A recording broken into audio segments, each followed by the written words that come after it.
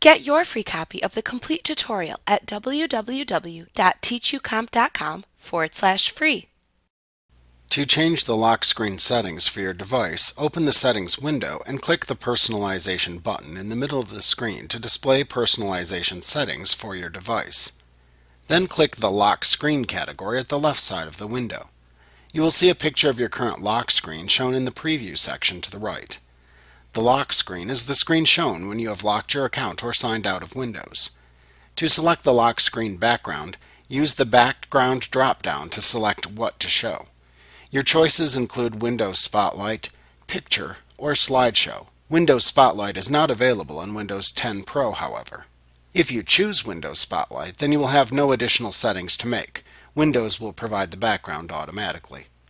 If you select Picture, then select a lock screen picture shown, or click the Browse button to launch an open dialog box that you can use to find a picture, select it, and then click the Choose Picture button. If you choose Slideshow from the background drop-down, select the Slideshow folder album, or click the Add a Folder button to open a Select Folder dialog box that you can use to select a folder that contains the pictures you want to use for your slideshow. You can remove any existing folders shown in this list by clicking the folder and then clicking the Remove button that appears. You can then click the Advanced Slideshow Settings link to open the Advanced Slideshow Settings window.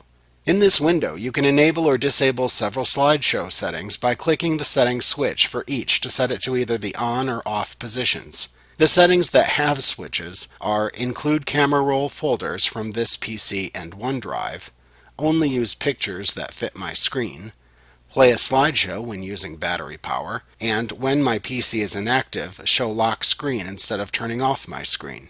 You can choose if and when the screen should be shut off after playing a slideshow by selecting a choice from the Turn Off Screen After Slideshow Has Played drop-down.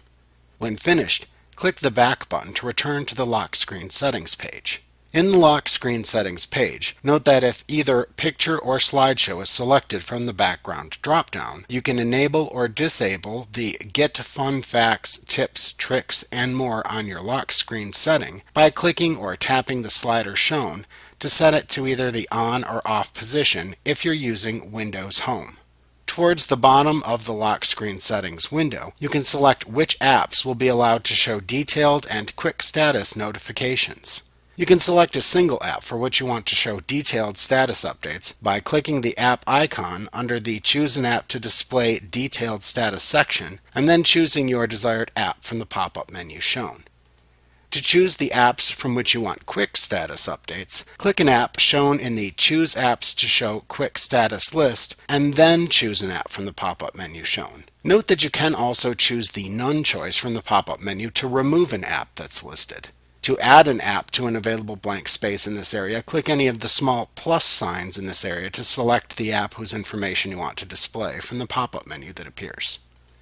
At the bottom of the lock screen settings, you can click the Screen Timeout Settings link to show the power and sleep settings from the System Settings category.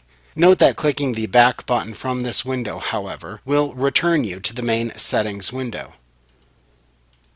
You can also click the Screensaver Settings link to open the Screensaver Settings dialog box. A screensaver is an animation that is displayed on screen after a period of inaction occurs so that the desktop image will not be burned into the monitor due to its constant display. Within this dialog box, use the Screensaver drop-down to pick the screensaver to use, and then click the Preview button that appears to the right to see how it will appear. When previewing the screensaver, you can press the Escape key on your keyboard or move your mouse pointer to stop the preview. The currently selected screensaver can be adjusted by clicking the Settings button. The settings you can change, if any, will vary depending on the screensaver you have selected. Make any selections you would like within the Settings dialog box and then click the OK button to return to the Screensaver Settings dialog box. In the Wait box, you can Like what you see? Pick up your free copy of the complete tutorial at www.teachucomp.com forward slash free.